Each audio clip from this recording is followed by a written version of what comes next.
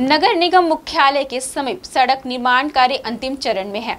अंदरूनी क्षेत्र में सड़क निर्माण किए जाने से इसका लाभ चंद लोगों को ही मिलेगा। निगम मुख्यालय से लगकर सीसी रोड का निर्माण कार्य कराया जा रहा है।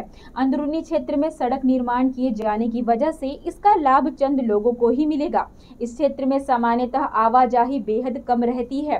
सर्विस रोड से लगकर सड़क निर्माण कार्य किए जाने की वजह से यह सड़क निर्माण कार्य औचित्यहीन साबित हो रहा है। क्षेत्र में सड़क निर्माण कार्य क्यों शुरू कराया गया, यह समझ से परे है।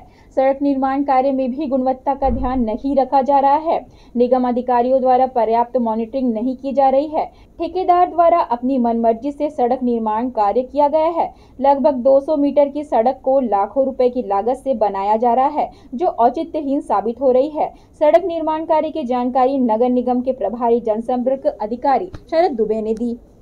काफ़ी दिनों से सीसी रोड की मांग थी वहाँ पे, और उसमें सीसी रोड का निर्माण 220 मीटर लंबाई में और 7.5 मीटर चौड़ाई में किया जा रहा है। जिसकी लागत चौबीस दशमलव अस्सी हज़ार, चौबीस लाख अस्सी हज़ार का।